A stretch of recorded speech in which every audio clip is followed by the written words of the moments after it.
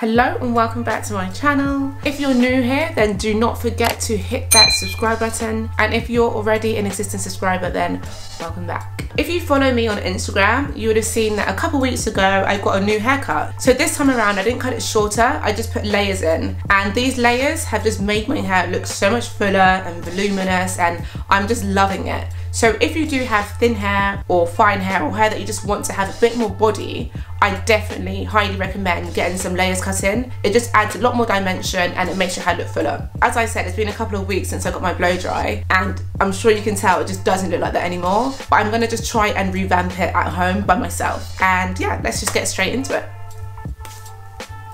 Yeah, it definitely doesn't look the same. So in a lot of areas it has started to frizz up and whatever. I know you guys have seen my hair straight quite a lot and I'm gonna try and like ease off the straightness and do something else. But whilst I have two textures, I just find it really hard to know what to do. I can't do braids because I don't know if you guys know, but I found out that I'm actually allergic to the braids. Like it gives me a reaction, so I can't do braids anymore. And obviously with the two textures of my hair, I can't just leave it like that. So I am finding that straightening my hair is actually really, really helping me in this process but in the same breath, like I don't want to keep straightening my hair too much. So I feel like this is the last time I'm gonna probably have my hair straight for a bit. And I'm gonna try and see if twist outs and that kind of stuff was gonna work for me. So like stay tuned for that. So a straightener that I've used for years and I actually really like is this Steampod. This is the second version, so it's a Steampod 2.0. And I know they now have like a newer version. This old version has like a separate water tank. You put water in here and it travels up this cord and then you get some steam that comes out the straightener. You can see here, that's where the water comes out of and it just gives you more of a sleeker result.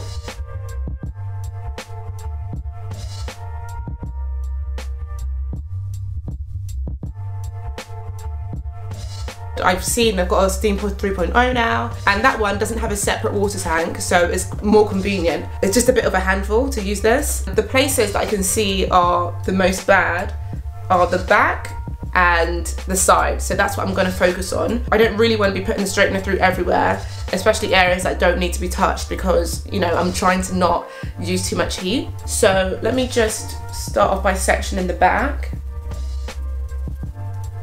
So I can see it's really just this area here that needs redoing. Um, the rest is actually fine, like as I run my fingers through it, actually maybe a little bit here too.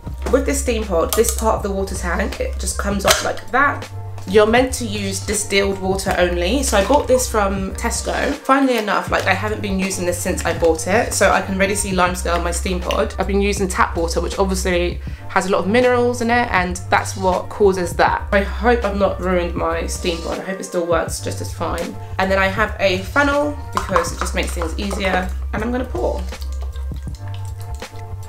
yeah that's enough. So then you just close that like that. You get the steam pod itself and it just clicks into place. And then I'm just going to turn this on. It's now on 210 degrees but I think I'm going to take it down to 200 and you're going to see the steam start coming through. I don't know if you can see that but it started to steam and it is going to start making a noise soon. There you go, that's the noise. I'm just gonna show you how sleek this gets your hair. I'm gonna take a little section of this back and I'm just gonna take it and drag it through. Oh, wow. Sorry, I've not used this in so long, so I'm still like, it's a shock to me. Let me just get another section now and do the same. You see this is all fluffy and this has gone afro, right? Oh, I missed you. I really missed this pod. I haven't used it in so long. The good thing about this steam pod, it also has a comb. So you know when you do that, when you straighten your hair, a lot of people do the chasing method. Get your straighten and you chase it through the comb. This already has an inbuilt comb. So it gets you really sleek results, which is just amazing. This feels so soft right now. Okay, and now let me do this side.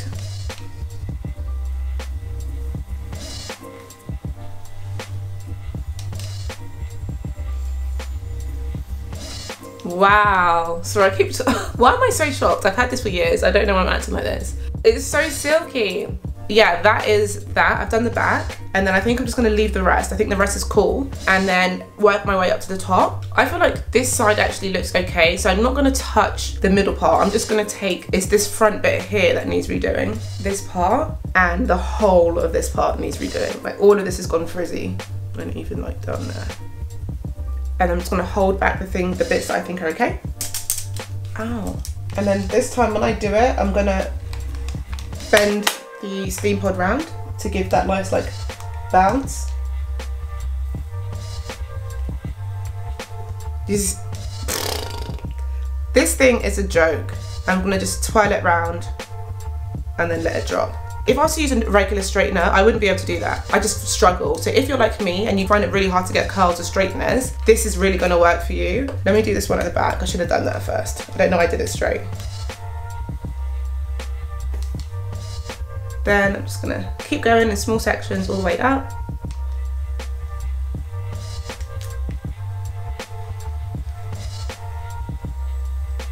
And then before it cools down, you just need to like twist it around your finger.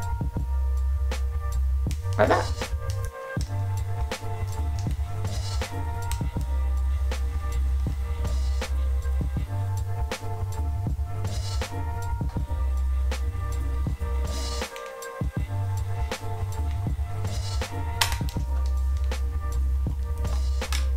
Completely forgot to put heat protector on. I can't believe I just did that. So I'm gonna quickly spray my Texture Release Thermal Protector. And because this is very oil based, I can spray over this and I don't think it's gonna revert my hair. I'm so silly, I can't believe I did that. I'm in a rush, I have things to do today.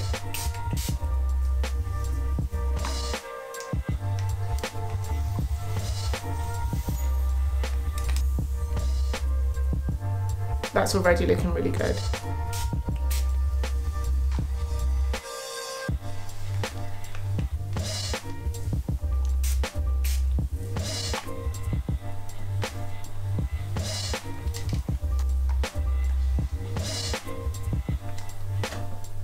Those are all like the problem areas I think needed like more attention. I'm gonna let the rest of the hair down now and see what that looks like.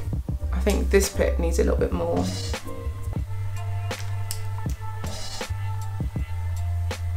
Yeah, that looks so nice and shiny.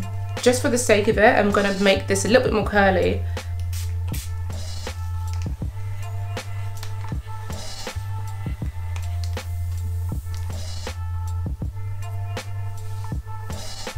that looks good. I'm gonna also think do this part.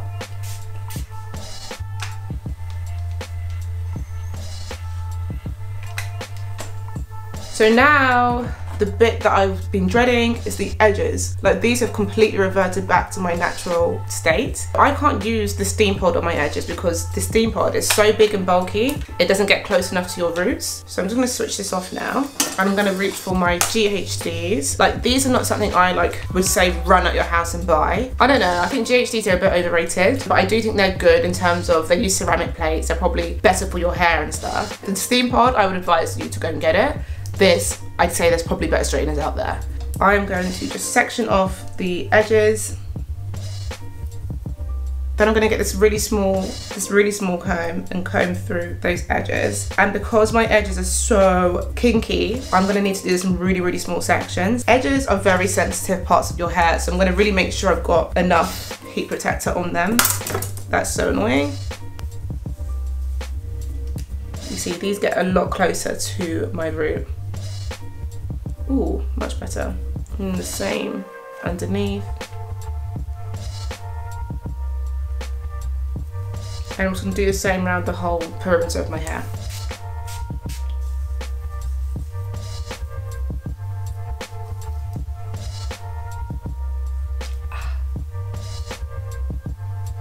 And you don't need to take the GHDs all the way down your hair shafts, it's literally just the edges.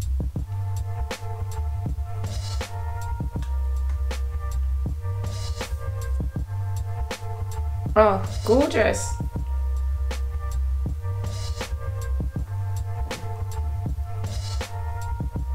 See, my edges feel a lot sleeker and smoother now. I'm just going to now shake it all about, get the curls to drop, and then I'm just gonna get my parting put in properly. So I think my parting should be about there, maybe more here.